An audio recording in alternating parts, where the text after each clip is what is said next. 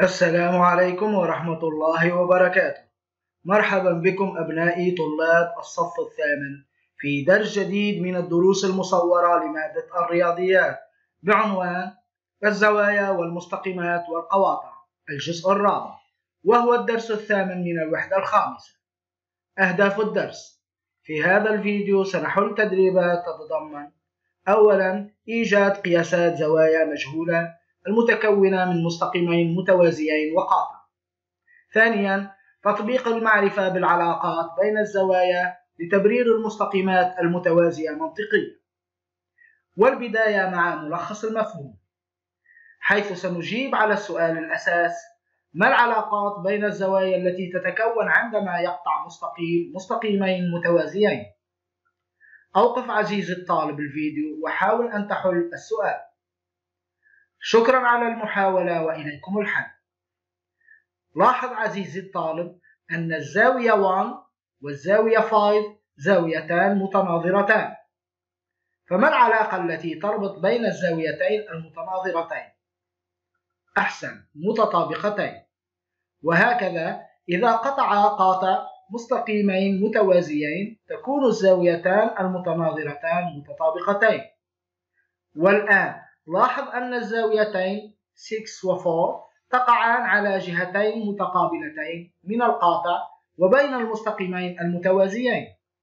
إذا الزاوية 6 والزاوية 4 زاويتان متبادلتان داخليا وما العلاقة التي تربط بين الزاويتين المتبادلتين داخليا؟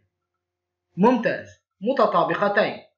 إذا إذا قطع قاطع مستقيمين متوازيين تكون الزاويتان المتبادلتان داخليا متطابقتين. والآن لاحظ أن الزاويتين 4 و 5 تقعان على نفس الجهة من القاطع وبين المستقيمين المتوازيين. إذا الزاوية 4 والزاوية 5 زاويتان متحالفتان. وما العلاقة التي تربط بين الزاويتين المتحالفتين؟ أحسن متكاملتين. إذا إذا قطع قاطع مستقيمين متوازيين تكون الزاويتان المتحالفتان متكاملتين. وكيف يساعدك؟ تحديد العلاقة بين أزواج الزوايا المتكونة من قاطع ومستقيمين متوازيين في تحديد قياسات الزوايا المجهولة ممتاز. يمكنك من معرفة أي الزوايا متطابقة وأيها متكاملة يساعدك ذلك في إيجاد قياسات الزوايا المجهولة. والآن تمرين 3 صفحة 91 عبر عن فهمك. ما عدد الزوايا التي تتكون عندما يقطع قاطع مستقيمين متوازيين؟ وما عدد قياسات الزوايا المختلفة؟ أوقف عزيزي الطالب الفيديو وحاول أن تحل السؤال.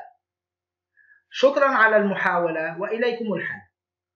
عندما يقطع قاطع مستقيمين متوازيين ينتج عن ذلك 8 زوايا وما العلاقة التي تربط بين قياسات الزوايا المتقابلة بالرأس؟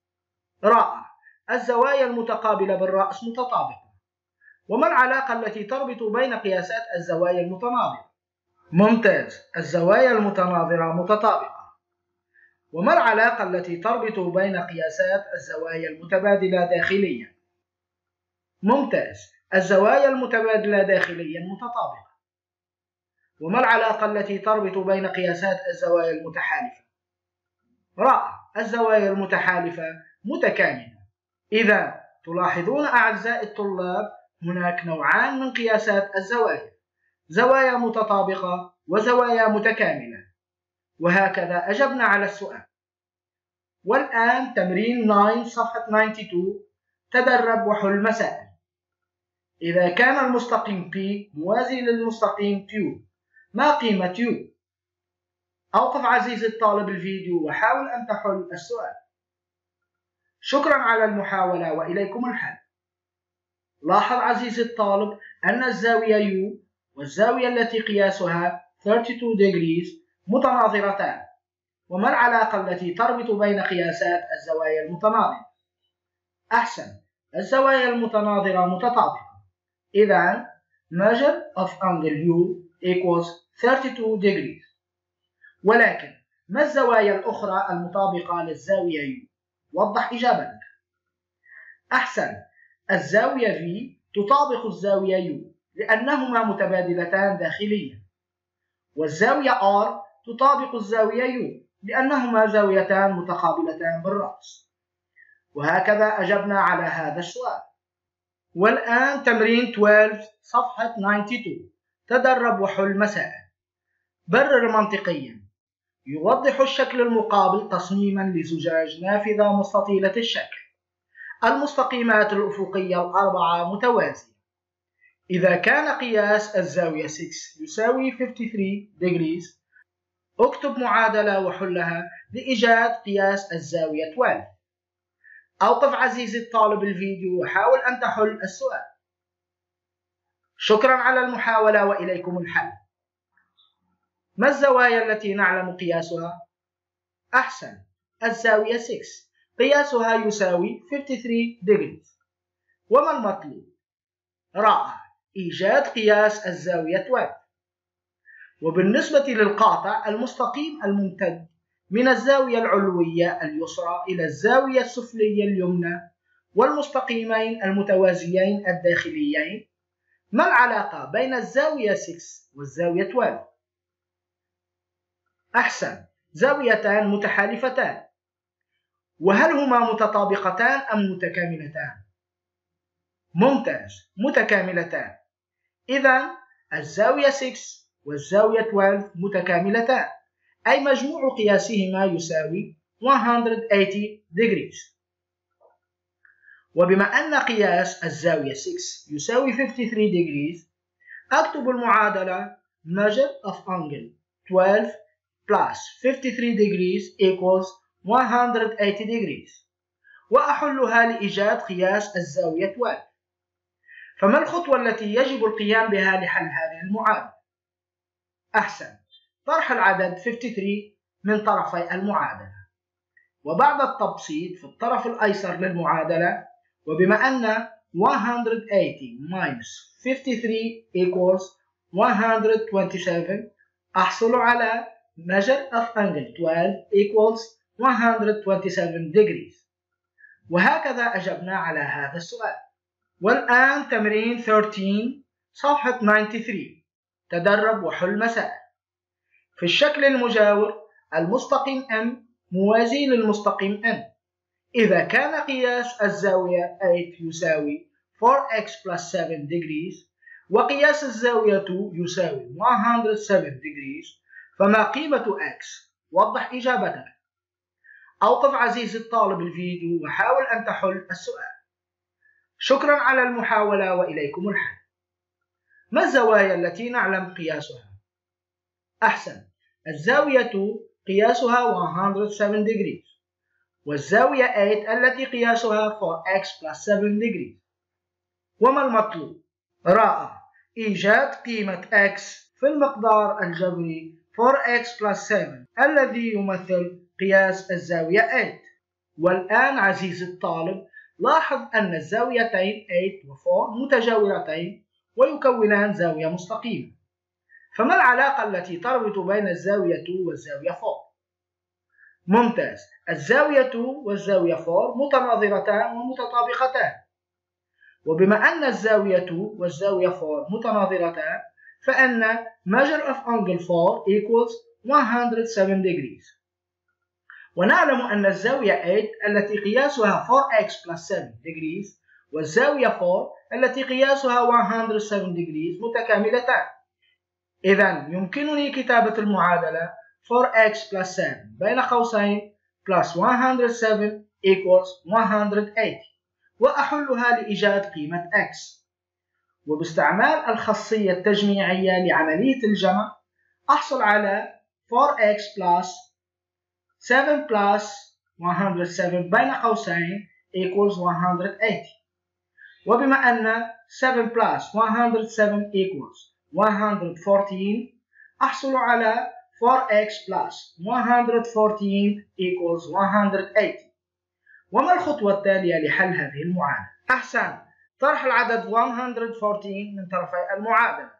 وبعد التبسيط في الطرف الأيسر للمعادلة وبما أن 180 minus 114 equals 66 أحصل على 4x equals 66 والآن بقسمة طرفي المعادلة على العدد 4 وبعد التبسيط في الطرف الأيسر للمعادلة وبما أن ناتج قسمة العدد 66 على العدد 4 يساوي 16.5 أحصل على x equals 16.5 وهكذا أجبنا على هذا السؤال.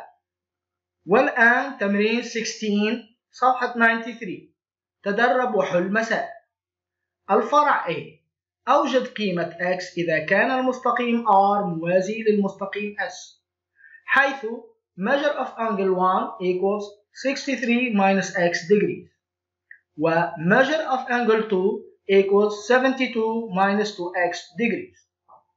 الفرع B. أوجد measure of angle 1 و measure of angle 2 أوقف عزيزي الطالب الفيديو وحاول أن تحل السؤال. شكرا على المحاولة وإليكم الحل. والبداية مع الفرع A. أوجد قيمة x. إذا كان المستقيم R موازي للمستقيم S. فلاحظ عزيزي الطالب أن المقدار الجبري الذي يمثل قياس الزاوية 1 يتضمن المتغير x. وكذلك المقدار الجبري الذي يمثل قياس الزاوية 2 يتضمن المتغير x. فما العلاقة التي تربط بين الزاوية 1 والزاوية 2 أحسن متناظرتان ومتطابقتان. وهكذا يمكنني أن أساوي بين المقدار الجبري 63 x والمقدار الجبري 72 2x وأكتب المعادلة 63 x equals 72 minus 2x وهي معادلة تتضمن المتغير x في طرفيها. فما الخطوة الأولى لحل هذه المعادلة؟ أحسن. تجميع حدود المتغير x في الطرف الأيسر للمعادلة وذلك بإضافة 2x إلى طرفي المعادلة. وبعد التبسيط في الطرف الأيمن للمعادلة وبما أن negative x plus 2x equals x أحصل على 63 plus x equals 72 وما الخطوة التالية لحل هذه المعادلة؟ أحسن. طرح العدد 63 من طرفي المعادلة لتجميع الحدود الثابتة في الطرف الأيمن للمعادلة. وبعد التبسيط في الطرف الأيسر للمعادلة وبما أن 72 minus 63 equals 9 أحصل على x equals 9 وهكذا أجبنا على الفرع A من هذا السؤال وننتقل الآن إلى الفرع B أوجد measure of angle 1 و measure of angle 2 نعلم أن measure of angle 1 equals 63 minus x degrees وبما أن x equals 9 أعوض 9 عن x في المقدار الجبري 63 minus x فأحصل على measure of angle 1 equals 63 minus 9 degrees. A measure of angle 1 equals 54 degrees. ومن يذكرنا بعلاقة الزاوية 2 بالزاوية 1؟ أحسن الزاوية 1 والزاوية 2 متناظرتان ومتطابقتان. إذا measure of angle 2 equals 54 degrees. وهكذا أجبنا على هذا السؤال.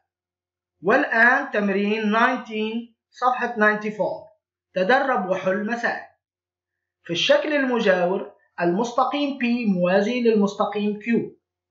أثناء اختبارات رياضيات أخطأ خالد حين قال إن قيمة W هي 101 degrees. الجزء A أوجد قيمة W. الجزء B ما الخطأ الذي ربما وقع فيه خالد أوقف عزيزي الطالب الفيديو وحاول أن تحل السؤال. شكرا على المحاولة وإليكم الحل.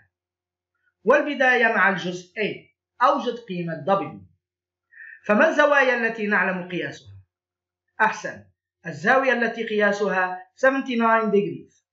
والزاوية التي قياسها 101 degrees. وأي الزاويتين مطابقة للزاوية التي قياسها W؟ رائع الزاوية التي قياسها 79 degrees. لأنهما متناظرتان. إذا W equals 79 degrees. وهكذا أجبنا على الجزء A من هذا السؤال. وننتقل الآن إلى الجزء B. ما الخطأ الذي ربما وقع فيه خالد حين قال إن قيمة W هي 101 degrees. والجواب هو ربما فكر خالد أن الزاوية التي قياسها W والزاوية التي قياسها 101 degrees متناظرتان وبالتالي لهما نفس القياس.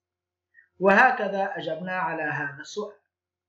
إلى هنا أعزائي الطلاب نأتي إلى نهاية هذا الدرس. شكرا على حسن المتابعة والانتباه. وإلى اللقاء في درس جديد من دروس الرياضيات للصف الثاني